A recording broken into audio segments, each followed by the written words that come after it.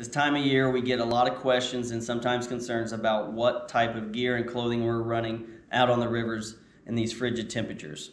So I'm gonna go through what we take with us to keep us warm. I'm gonna start out with our wetsuit. The one I run is an O'Neill. It's a 4-3, keeps me plenty warm. I've never been cold on this. I know that some people prefer dry suits and that's fine. Um, this just gives us a little bit more mobility, I feel like, and also a little bit of cushion for whenever we hit uh, the rocks falling off our boards. Second is the booties. I like these. These are NRS Freestyle. I run these almost all year round. They have awesome traction on the bottom and keep my feet plenty warm. Now, if the weather is, you know, extremely cold, down in the teens or even 20s, these booties, I'll put these on first then slide the freestyles on over them and then my feet stay warm and toasty the entire float. So gloves, these are the NRS Hydro Skins. Now, these are awesome. They're really light, thin, and they keep your hands a little warm whenever it's just chilly or frosty outside. But, you know, when it's really cold, I like to run something a little bit heavier. Now, the ones I had prior to this, they ripped and tore. They weren't the greatest, so I got these new kind. These are from Glacier Glove Ice Bay.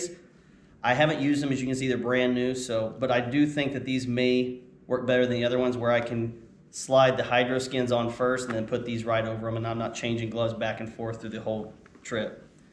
I will take an extra pair of fingerless gloves, so when we get on the bank and I need to build a fire or do something, I can take those off, and then I can ha have my uh, fingers accessible. Uh, beanies. I love beanies. I have a ton of beanies. I don't have a preference or a brand that I prefer over another one. I just always make sure I have a beanie in my dry bag. Doesn't matter what type of year it is, always have a first aid kit. And this one's still in the package, so you can see I haven't got hurt recently, which is a good sign.